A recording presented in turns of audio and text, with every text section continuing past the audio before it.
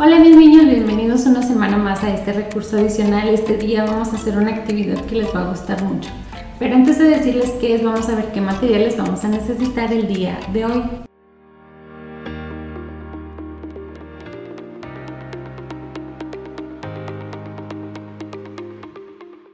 Este día vamos a necesitar nuestro cuaderno, nuestro lápiz, muy importante una regla, las crayolas y el elemento principal es pintura blanca.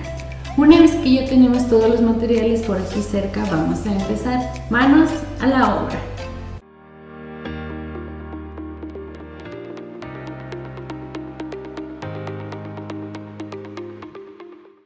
Vamos a iniciar por colocar los datos, nombre completo, título y fecha justo abajo del resorte. Una vez que los datos estén puestos vamos a pasar a hacer nuestro diseño principal. En este caso vamos a necesitar nuestra regla para trazar una línea de 22 centímetros y colocaremos una pequeña marca justo en el 11 que es la mitad. Esta línea nos va a ayudar para formar un rectángulo. La siguiente línea, pero ahora la que irá en posición vertical, será exactamente 16 centímetros y colocaremos una pequeña marca justo en el número 8 que es la mitad. Con estas dos medidas vamos a crear nuestro rectángulo que ocasión nos va a servir como ventana ya que vamos a unir las pequeñas marcas que hicimos en la mitad de las líneas. Ya que tenemos el contorno de nuestra ventana vamos a pasar a nuestro diseño. Aquí el diseño ya será completamente libre respetando que estamos trabajando en una ventana. Entonces Podemos hacer el diseño de la ventana o bien dejarlo así y enfocarnos en el diseño que estaremos observando desde la ventana. En este caso, aprovechando que vamos entrando en diciembre con el frío y que se acerca la Navidad, yo quise hacer un paisaje muy navideño y colocar un muñeco de nieve. Ya que tenemos el diseño, vamos a pasar a la decoración que en esta ocasión va a estar a cargo de las crayolas.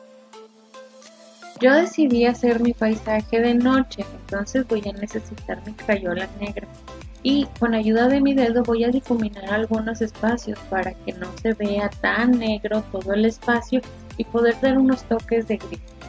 En cuanto a la nieve, como la nieve es color blanca y no podemos dejar tanto espacio en blanco, decidí colocar un poco de azul y difuminar en la dirección que yo elija para poder dar ese efecto de nieve. Lo mismo realicé con el muñeco de nieve.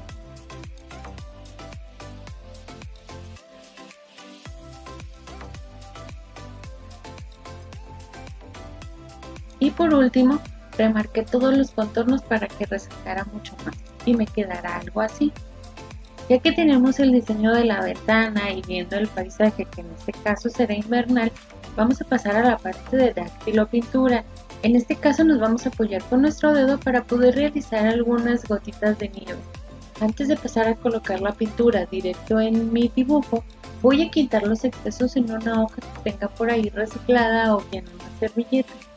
Esto me va a ayudar a quitar los excesos y sobre todo poder jugar también con los tamaños de las bolitas de nieve ya que podré colocar algunas pequeñas, algunas más grandes y algunas medianas dependiendo de la intensidad con la que presione mi dedo y la pintura.